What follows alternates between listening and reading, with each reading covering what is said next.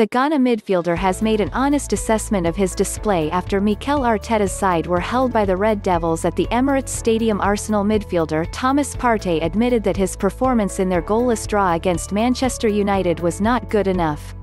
Partey played from start to finish as both teams struggled to break the deadlock in Saturday's Premier League encounter. Back in November, the Black Stars midfielder produced a solid display in the middle of the park as Arsenal bagged a 1-0 win over United at Old Trafford courtesy of Pierre-Emerick Aubameyang's strike from the penalty spot. Editor's picks, malicious and vicious why Marseille fans went on the rampage, boys, I think Nando is done. Carroll, Torres, Suarez and the most dramatic transfer deadline day ever do Man UTD lack belief in title challenge.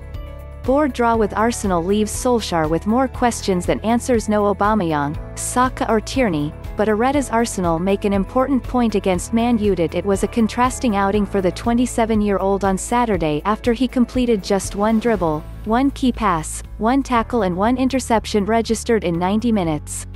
Despite his less than impressive contribution at the Emirates Stadium, Partey was pleased to help the Gunners extend their Premier League unbeaten streak to seven games. Not my best game but I'm happy to make 90 minutes and also continue with our Premier League unbeaten run, he wrote on Instagram. Partey will aim to be back to his best and help Arsenal continue their impressive league run when they visit Wolverhampton Wanderers on Tuesday. They are ninth on the Premier League table with 31 points from 21 matches. Meanwhile, Manchester United legend Roy Keane has backed the Ghana international to be an established star at the Emirates Stadium.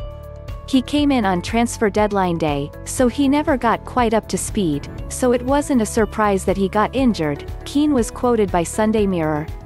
He's going to be a big player for Arsenal over the next few years. His track record, He's used to playing in the biggest games, we know the important role in the middle of the park for Arsenal, they've lacked the physical presence. I've got no doubt that if he stays fit, which we'll probably see more of next season, then he'll be a big player for Arsenal,